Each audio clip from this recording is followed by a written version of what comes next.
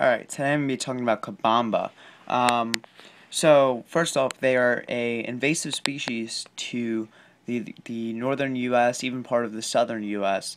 Um, they're actually an invasive species in a lot of places because they grow extremely fast, they self-seed, um, and they just take over entire lakes.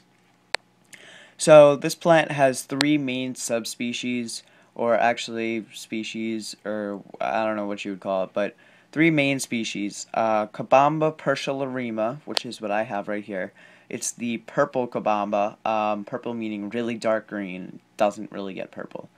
Um, Cabomba furcata, which is the red, almost orange color uh, Cabomba. And then Cabomba caroliniana, uh, which is the light green Cabomba that's almost a light green like that. So, um, basically, all three cabombas are very similar. Um, they they take something. Ooh, wow! I have to show all that off. I don't know if you can see that, but there's like a crap ton of bubbles coming off of that. All right, maybe not. All right, but um, so all three cabombas need a certain few things to survive. They're very, very picky plants. If they find what they like, they will grow super speed, and I'm talking almost an inch a day. If they don't find what they like, they'll melt, like, like literally in a few days. Like they'll fall apart, um, and they make a big mess when they fall apart. So, I think this plant's a little bit overlooked. Um, for that reason, that if you can't get it to like your tank, it'll make a huge mess. But if you can get it to grow, a lot of fish appreciate it. Fish, I'm talking like baby fish. I'm talking angels. Angels love this stuff. You can see they just go in and out of these plants. Um, it's like a forest for them, and they can just go right through it because they're so thin. So, um, they appreciate CO2. They really like CO2. They really like highlight. But mainly what they like is a full spectrum of light. Um, I'm talking 2700K bulb and then get a 6500K bulb and run them both at the same time.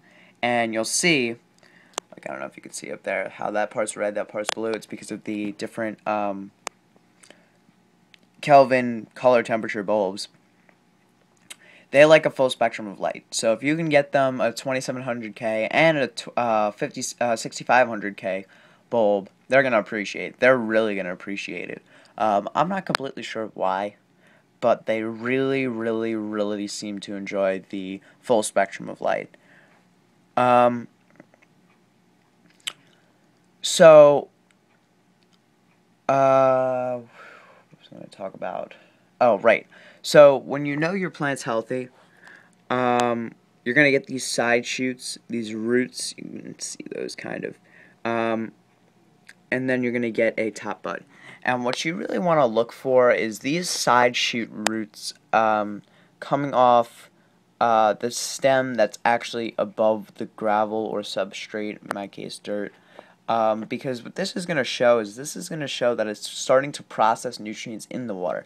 Meaning you can cut it right where all this stuff is right here. I would cut right at the bottom. Cut right there so that could be one piece right here.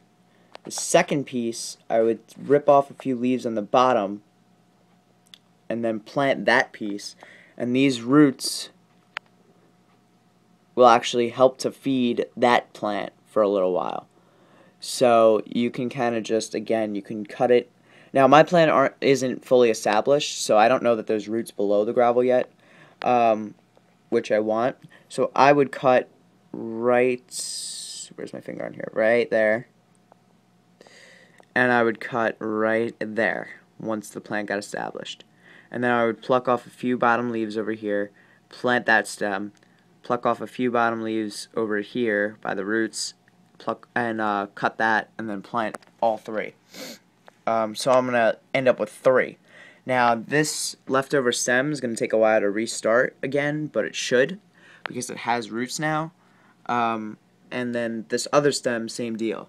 Um, so the main thing with this plant to show that it's established and growing well is roots. Um, if you see roots coming off this plant in any way, you know it's growing, you know it's healthy, you're not going to have an issue growing it. Um, on the other hand, if you don't see roots, you see kind of straggly growth, it's going to melt and it's going to fall apart in your tank, and I would say just get it out of there as fast as possible before it does.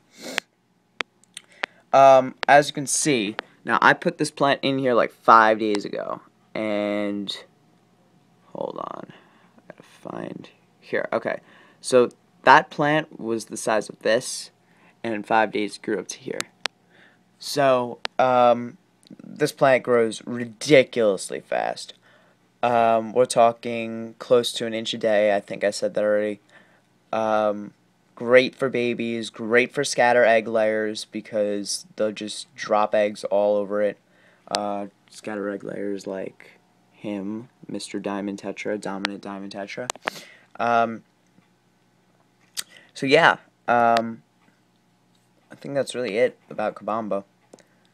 Oh, right. So the, the, the methods the methods of growth. I completely forgot about this. So to spread, to reproduce, this plant will grow to the top of your tank and will start producing flowers like mad. Um, the flowers can then be pollinated, seeds will be produced, the, uh, the produced seeds will sink, and then they'll either start growing after a month, or what you could do is you could actually take the flower off, freeze the flower, or stick it in the uh, like add water and then stick it in the refrigerator for a few months and then throw it back into another tank and they will all germinate into new cabomba plants. Isn't that cool? So uh, that's how they reproduce in the wild. Um, and that's why they're so abundant at reproducing. And you can actually just save the seeds for as long as you want. Their, I believe their their uh, germination time is about seven years. You have about seven years to replant. I could be wrong.